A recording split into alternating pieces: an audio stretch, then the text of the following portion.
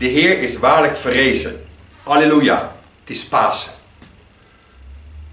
Toen wij zes weken geleden begonnen aan de 40 dagen tijd, namen we als thema mee van woestijn naar paastuin. Wat ik toen niet wist, is dat het beeld van de woestijn zulk een werkelijkheid werd voor ons allemaal. Door de coronacrisis. Veel mensen worden verzorgd in ziekenhuizen, op de IC's. Veel mensen zijn gestorven. En veel andere mensen leven in totale isolement, eenzaamheid, alleen en kunnen anderen niet ontmoeten. En toch, toch wordt het Pasen. Toch is het Pasen. En is de Heer verrezen. Ik hoop van harte dat u vandaag en de komende tijd de paastuin mag ervaren. Dat u de Heer mag ontmoeten. Die u aanspreekt bij uw eigen naam. Dat u mag antwoorden, Rabuni, net als Maria Magdalena. Rabuni, u bent mijn meester.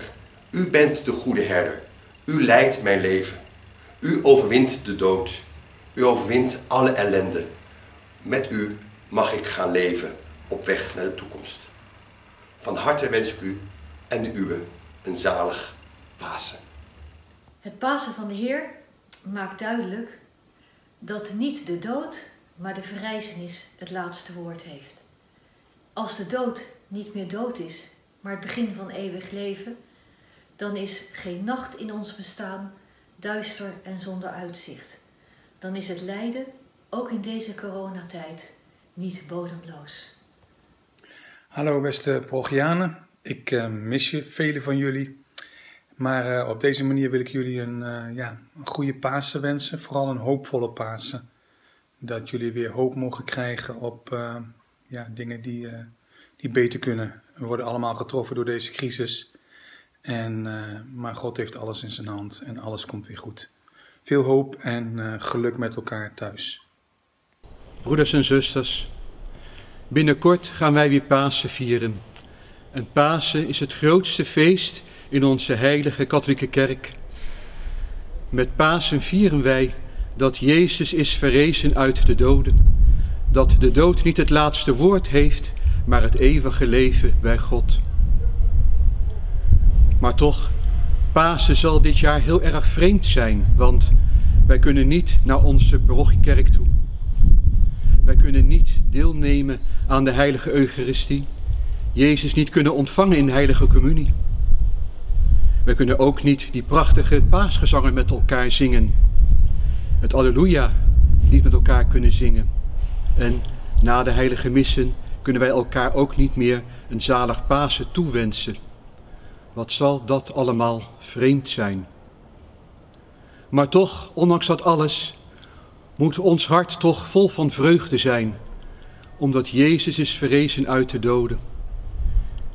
In het Johannesevangelie staat dat ons hart niet verontrust mag zijn. Geloof in God, geloof ook in Jezus.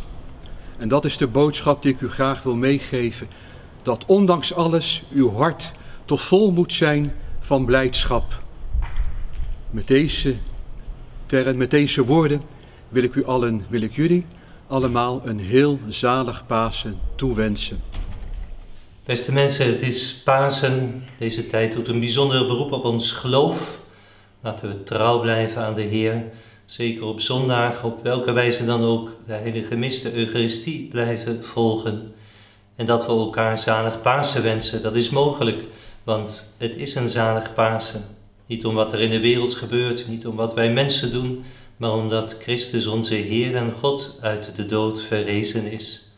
En laten we deze paastijd dan ons weer een beetje aanwennen, die vertrouwde groet, als er gezegd wordt, de Heer is verrezen, dat wij antwoorden met, de Heer is waarlijk verrezen. Zalig Pasen.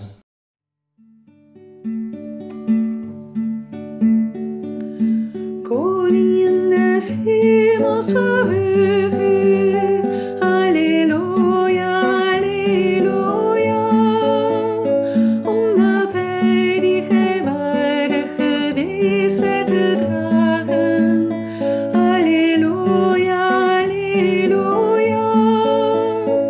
feliz, feliz, uns